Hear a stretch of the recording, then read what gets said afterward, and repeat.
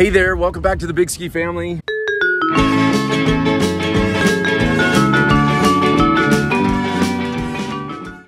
Welcome back. At least a part of us, just two of us this time. Kind of a wonderful week we're having. Happy Valentine's Day to all you out there who are in a relationship or look forward to being in one someday. This week we want to talk a little bit about relationship and it's just interesting that with Valentine's week we were uh, fortunate enough to get a week away together, the two of us, and we've been on a cruise and it's done by a ministry called FamilyLife Today, a Christian organization that just really uh, reaches out to marriages and families and they put on a cruise called Love Like You Mean It Cruise. And we today landed where? In St. Thomas in the Virgin Islands. St. Thomas Virgin Islands, guys, if you want to see a little bit of we're standing on the loading dock just right. We just got off the boat. We're getting ready to go snorkel. But, a little different than snow. But a little different than snow. Yes. And we wanted to hit two different things because as we're on this cruise, we're here for us. We're here to grow in our marriage. We're what we consider ourselves marriage investors. We're never arrived. We have never arrived. We're always at a place of learning and growing in our marriage. Always. We're 26 years in, and I learned so much in the last few days about Jenise and how to lovingly care for Jenise. The Lord's really been doing a heart, a work, a hard kind of work in my heart and mind over the last, uh, really last few weeks uh, leading up to this. But Jenise, we're going to talk about two things today about his needs. There's a book, His Needs, Her Needs, that uh, Dr. Archibald Hart, I believe it is, wrote. And um, I'm going to start. I'll go first. You go first. Please yeah. talk okay. to me. So I am constantly going through his needs, which of the five top needs are sexual fulfillment. Oh yeah. Recreational companionship. Huge. Attractive spouse, domestic support, and yes. respect and admiration. And I'm constantly going through that little list in my head going, how is he doing? How are we doing? And um, I was focusing on number two, recreational companionship, um, while we were on this trip because um, guys are always at their best when they are playing and having fun. With the one they love, especially. Yeah.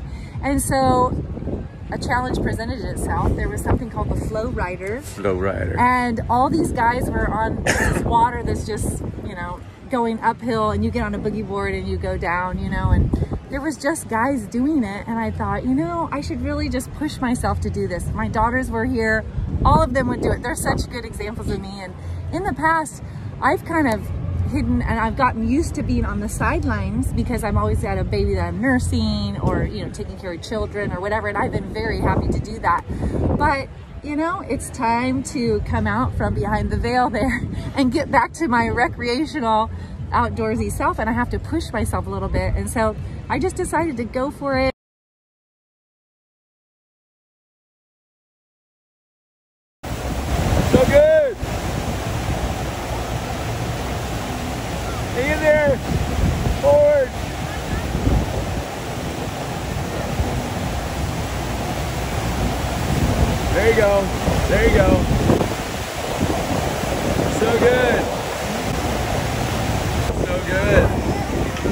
baby. Proud of you. So good. You did awesome. And I survived. I lived. I had a good time. Survived. She thrived.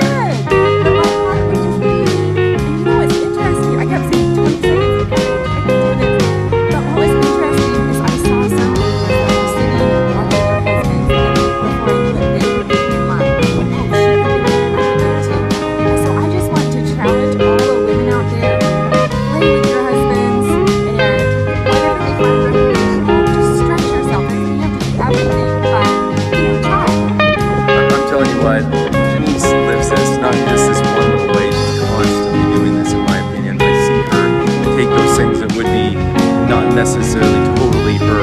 And it's funny because I think women do that when they're dating big time. I see them, hey, let's go hike, let's go ski, let's go snowshoe.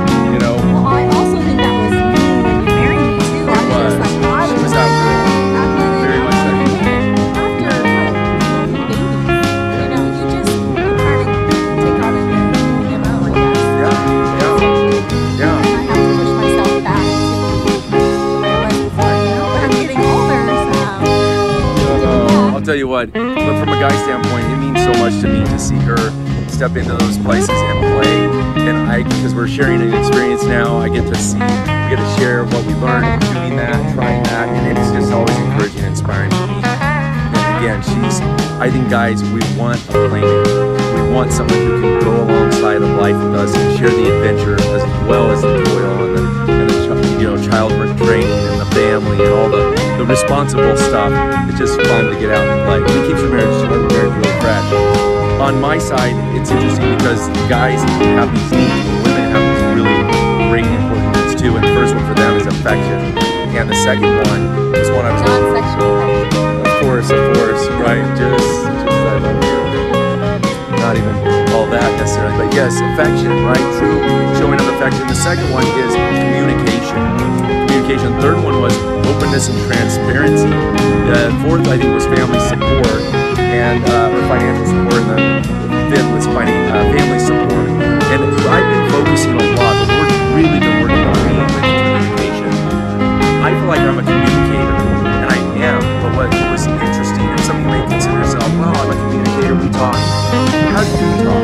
And I've learned that I talk to my wife often in ways that are not with my words. I've been uh, very curt or very um, sarcastic at times.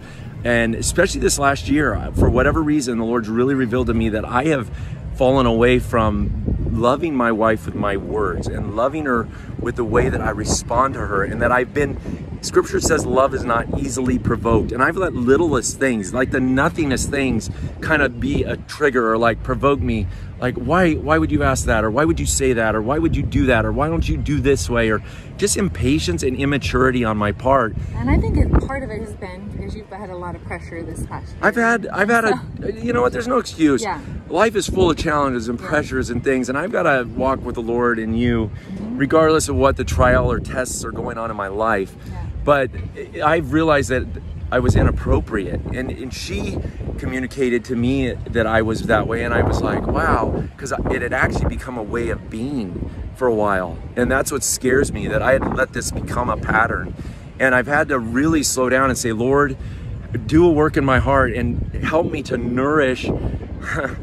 Gonna cry. I want to cherish my wife continually. I want my words to bring life. I want my words to build her up. I only want my words to make her more of who God created her to be. And I don't want any of my communication to take her away from that. And so I'm just, I'm a student right now of of paying attention to my words and how I honor my wife in communicating to her and do it in a loving way and in a gracious way and in a patient way. And God is already doing a work. And I have really seen the difference. I feel very cherished, and we've had some really good long conversations. And I think that's why it's so important to be able to get away and just be able to have the bandwidth and the brain space to just calm down. And, you know, because a lot of times things would be going on and just life was happening too fast. I was like, I don't want to burden him and be talking about this because he can't hear it right now. But we've had a chance to just be. And so Yeah. I've been able to really share, hey, this is the way I've been feeling. And Yeah. I'm going to And, cry. and I- anyway, We're just a been bunch really- of crybabies It's really it. been awesome. And Yeah. um, I've really appreciated your long suffering and patience. And And I want to share. uh, Thank you. I'll tell you what. We we are we're in this for the whole whole duration, and we're in it for all of it, and and we're never done learning or growing. And I think if there's a word of encouragement here today, it's no matter where you're at in your journey, you know, ask the Lord and then ask your spouse, hey, how can I love you better? What can I do for you? What what what can I do to grow? Because there's always a little something and sometimes a big something that the Lord wants to touch your heart and, and help you grow. And and love is is learning like that. It's growing through those things. It's not just all romance and and and, and all the all the fun that's there, but it's it's the work of it. It's the work and, and the and the roots that need to be tended and cared for. And it's wanna- amazing how much closer you feel too after you've worked through things. Like, Oh. wow, I really Oh. feel understood and oh. heard. Oh. And Well, it's and you- oneness. Yes. It's true oneness. It's intimacy, And Your right? relationship actually gets better. You think it's going to get worse, or you know, like I don't want to tackle that problem, but really, when you tackle it and work through it, you're so much closer. And yeah, Yes. Want to say one last resource that you might want to consider. I'm reading a book by Gary Thomas called Cherish. And if you're a guy Um, and maybe some of you ladies, it's written for a married couple, but it, it's been really ministering to me around. I love those words, nourish and cherish. To me, that's the ultimate definition of love. If Jenise feels cherished, she feels feels nourished and knows she's nourished then I, I am fulfilling the role I, I play in this marriage. And that book has just been a great resource. I've been reading it slowly over the last uh, couple weeks, and I'm enjoying it thoroughly. I'm not done with it, but it's doing a work in me, and it may be a resource for you. So, guys, again, we are on a cruise. Um, I just want to do a quick shout out to FamilyLife today. Um, if you need a marriage refresher, they have different levels of resources, and I just want to give you a couple plugs. Uh, they have one called The Art of Marriage, and it's literally there's a book and there's a, a, little course, a little simple study guide that you can do in the comfort of your own home or with a couple other couples. There's a weekend to remember, which is a weekend where you get away and it's in your local community. I know they do one in Sunriver, Oregon, where we are. They do them all over the U.S. And again, it's a quick refresher to time to get away, time to have these kinds of conversations. This one is one that we heard about a couple years ago, and and this year decided to take that leap. Um, but it's a it's a cruise, and it's a week long, focused on marriage. Speakers, uh, music. music, musicians, all focused questions. on building up Christian marriage and just a really fun time of recreation, playing, meeting, and ministering with other couples. Um, and we've just had a, an absolute ball. And, and so, just there are some and here's the thing you don't need any of those things. You could just schedule a date night right now and yes. pack a picnic lunch and go sit in your car and have a really powerful conversation. So, yes. marriage isn't tricky as far as the setting or the environment or whatever. And you don't need to be, I mean, we're in a, loving and being in a sweet little spot, but there it happens in, in the daily grind and, and grabbing a moment and getting a babysitter if you have those little kids and, and getting time away. Anyways, anything else you want to say before we go? I don't think so. Go love your husband. Go love your husband. Go, go love play. your wife. Do something fun. And communicate in a way that honors. Yes. Anyways, happy Valentine's Day from us to you. And uh, yeah, love you from St. Thomas, Virgin Islands.